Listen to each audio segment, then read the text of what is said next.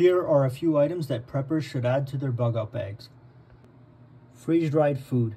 These will last about 30 years, so it's not like canned food where you have to worry about rotating them every couple years. You kind of just put them in your bug out bag and forget about it. To prepare, you just add boiling water straight into the bag, let it sit for a few minutes, and then eat. First aid kit and a tourniquet. Try to buy a higher quality first aid kit.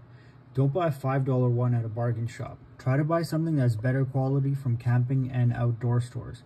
And most kits don't come with a tourniquet, so you'll have to buy it separately. The same thing with the tourniquet.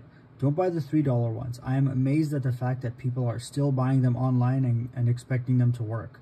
The tourniquet is something that you need in life-threatening situations. If it fails on you, and I guarantee you the $3 ones will, it's going to be a horrible situation. Only buy real tourniquets and from reputable sources.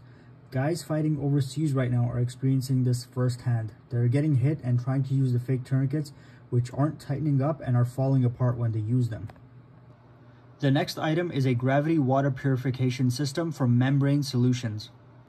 It has a four-stage water filter that removes a minimum 99% plus of large particles, chlorine, microplastics, odor, and heavy metals and it can filter up to 5,000 liters of water, whereas other brands may only filter 4,000 liters of water. Another thing I like about this one in particular is that it can connect with a water bottle and it comes with a 6 liter gravity fed water purification system that it can connect to.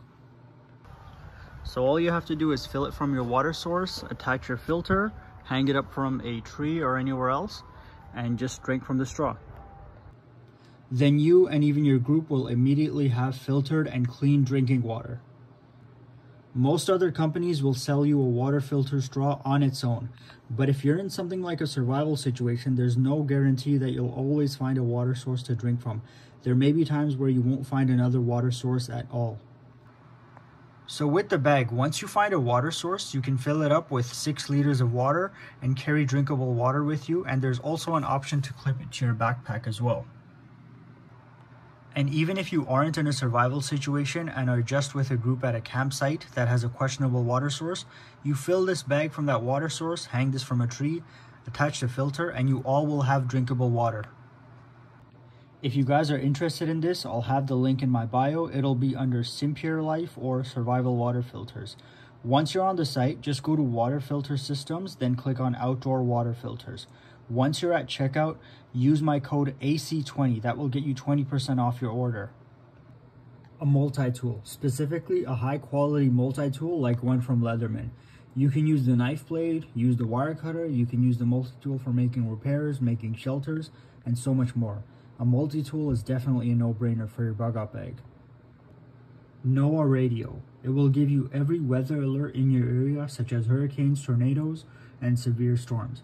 You can buy battery powered or hand crank ones. Both have their own benefits. If you have any suggestions on what else should be added to a bug out bag, leave it in the comments.